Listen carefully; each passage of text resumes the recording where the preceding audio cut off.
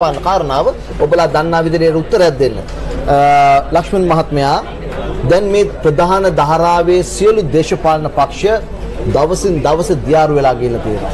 ප්‍රධාන පෙළ සියලු දේශපාලන පක්ෂවලට Tamanගේ මතවාද කරපින්නාගෙන යන්න බැරි වෙලා තිබෙනවා. ඔවුන්ට විවිධ විවිධ සන්දාන කණ්ඩායම් පුද්ගලයෝ එකතු වෙනවා.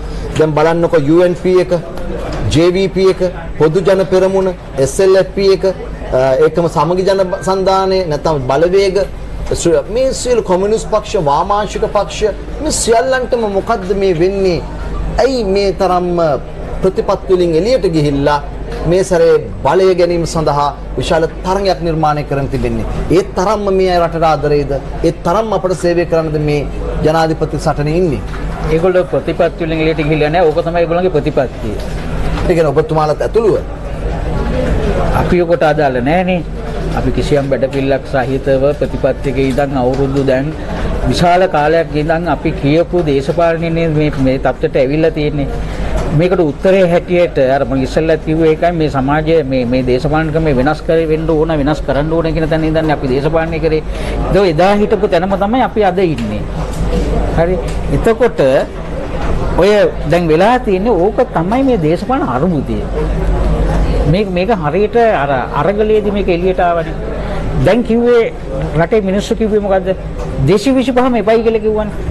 ඒ කියන්නේ අපිවත් ඇතුළත් කරගත්තා. ඒකට කමක් නැහැ. හරි 225ම එපයි කිව්වා. එතකොට දැන් අර එහාට යන්නේ මෙහාට යන්නේ ඔය ඔය යන්නේ ඔය 225 හිටපු මිනිස්සුනේ. වෙන කවුරක්වත් නෙමෙයිනේ. ඔය යන්නේ. ඒගොල්ලෝමනේ යන්නේ. හැබැයි ඒගොල්ලෝ එහෙම ගියාට ජනතාව යන්නේ නැහැ. හරි.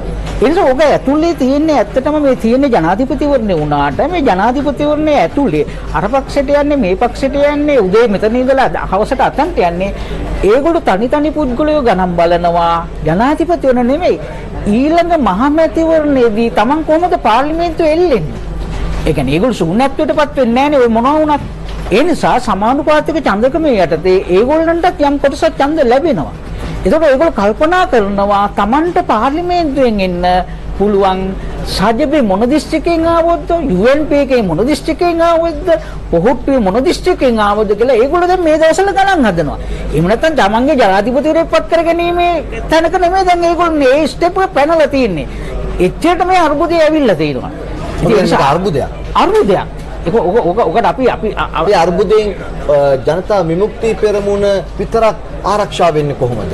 අපි ආරක්ෂා වෙනවා කියලා කියන්නේ මෙහෙමනේ ඒ කියන්නේ අනිත් අයම නරක අපි අර්බුදේ ඒ අර්බුදේ ඒ දේශ ඒ අර්බුදේ කොටස්කරෝ නෙමෙයි අපි. ඒ කියන්නේ ඒ පක්ෂවල මුහුල දීලා තියලා අර්බුදේම අපිත් ඒ අර්බුදේම කොටස්කරෝ නෙමෙයි. මොකද වෙනත් ආකාරයකට කොටස්කරනවා. වෙනත් ආකාරයක ඒ කියන්නේ අපි ජනතාව සංවිධානය කරගනිමින් ජනතාවත් එක්ක දේශපාලන ගණදුනුවක් කරන. ඒ කියන්නේ කොටින්ම කිව්වොත් එහෙම අපි මහ පොළොවේ ඉන්නේ.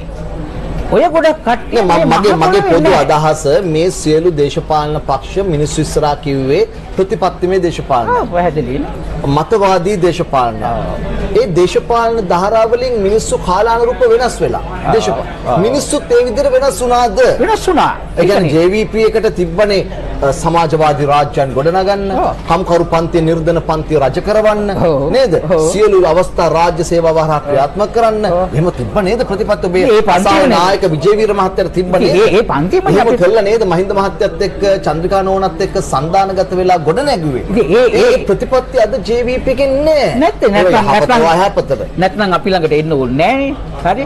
නෑ ඒව ඒ කියන්නේ වෙනසුනේ මෙහෙමයි මේකේ මේ මහත්තයා ඔයා- වෙනසුනේ ඇයි ඒ කියන්නේ එහෙම කාලානුරූපව JVP එකටත් අනුර කුමාර සහෝදරයාටත් ප්‍රජාතන්ත්‍රවාදී ව්‍යුහයක ඇතුලේ. මේ විදිහට වෙනස් වෙන්න හිතුනේ ඇයි? ඔයා මොකක්ද හින්දාද කියන්නේ අපි වෙනස් වෙලයි කියලා. අපේ එදා රෝහණ විජේවීර සහෝදරයා හිටියේ මේ රටේ බහු ජනතාව දිනා ගනිමින් රාජ්‍ය බලය ගන්න. ඉතින් අපි ඒක තමයි මේ කරන්නේ. මෙව- එහෙම වෙනසක් වෙලා නැහැ. හොඳයි හොඳයි හොඳයි. මම කැමතියි ඔබතුමාගේ